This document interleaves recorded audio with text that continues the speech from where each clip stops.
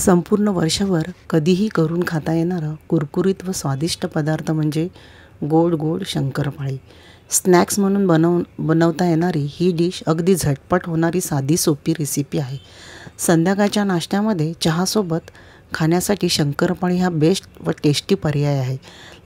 एक वाटी मैदा घेतलेला आहे. एक वाटी मैदा घेतला आहे. त्यानंतर पाऊण वाटी साखर घेतलेली आहे. अर्धी वाटी रवा घेतलेला आहे. आणि पाऊण वाटी तूप घेतलेले आहे.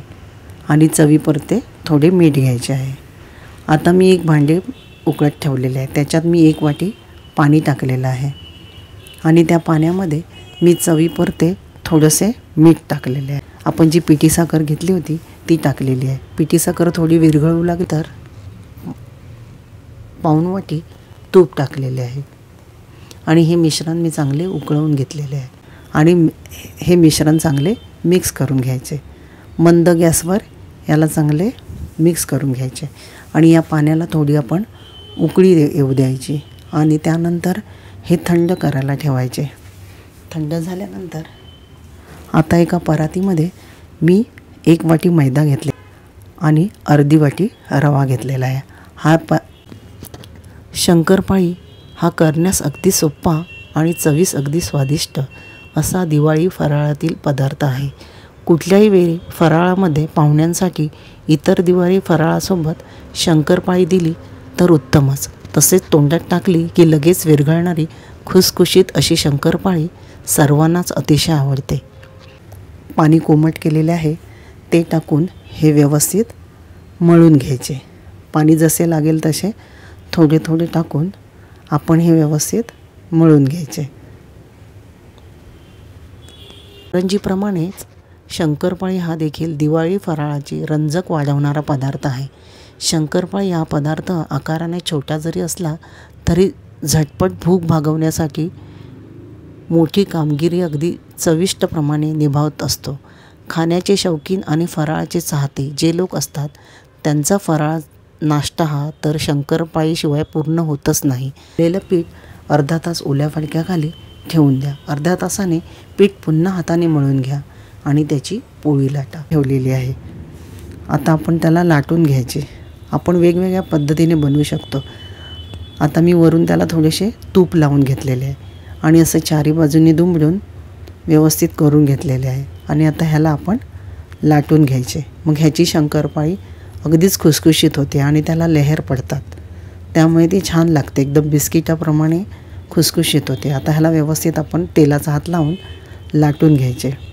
हे आता लाटून घेतलेलं आहे. आता आपण त्याला आकार द्यायचा.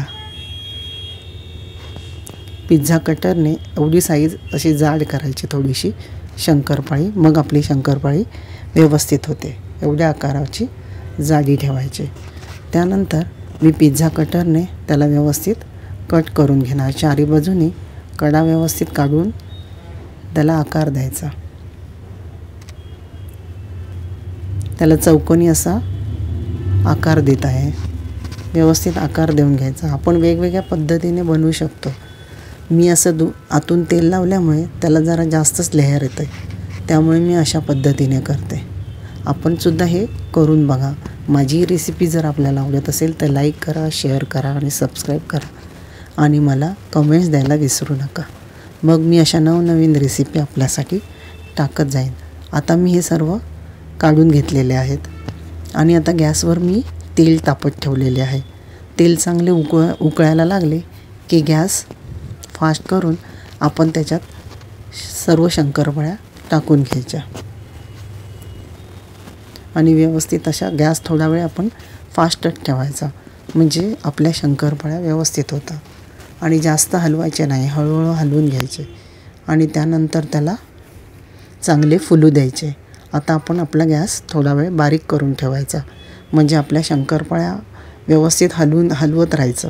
नाहीतर त्याचा कलर एकसारखा होत नाही. थोड्या कच्च्या अशा राहतात. म्हणून आपण व्यवस्थित सर्व बाजूनी हलवून घ्यायच्या. म्हणजे त्याचा आकार आणि कलरसुद्धा छान होतो. आता बघा ह्याला कशी लेहर सुटत चाललेली आहे. तेलात जशा जशा तळल्या जातील तशी त्याला लेहर सुटते. आणि छान होतात. बिस्किटाप्रमाणे खुसखुशीत होतात. हे पहा आता त्याचा आकार कसा? सगळ्यांचा सारखेच कलर आलेला आहे. व्यवस्थित अशा हलवत राहिल्यामुळे बघा आता त्याला कशा लेहरसुद्धा सुटलेल्या आहेत. ह्या पहा. आता त्या आपण काढून घ्यायच्या. आणि नंतर त्याला थोडा वेळ थंड होऊ द्यायच्या मी असे दुसऱ्या लेहर पण दुसरी पण शंक कापून घेतलेली आहे. आणि त्या पण मी गॅसवर टाकलेल्या आहेत. अशा आता काढून घ्यायच्या सर्व शंकरपाळ्या. आता पहा त्याचा सर्वांचा कलर कसा व्यवस्थित आलेला आहे. आणि कशा छान दिसत आहेत. मस्त अशा खुशखुशीत झालेल्या आहेत. हे पहा मी तुम्हाला एक तोडून दाखवते की आपली शंकरपाळी कशी झालेली आहे. एकदम खुसखुशीत बिस्किटाप्रमाणे होते. आपण मी दिलेल्या रेसिपीप्रमाणे करून बघा. शंकरपाळी हा दिवाळीत केला जाणारा पारंपरिक पदार्थ आहे. बऱ्याच जणांच्या घरी गोड शंकरपाळी बनवली जाते. गोड शंकरपाळी मैद्यापासून तयार करण्यात येते. तळल्यानंतर ही शंकरपाळी अतिशय खुसखुशीत लागत असून तोंडात टाकल्यावर लगेच विरघळते. दिवाळीच्या फराळात गोड खुसखुशीत शंकरपाळी खाण्याची मजा काही वेगळीच असते.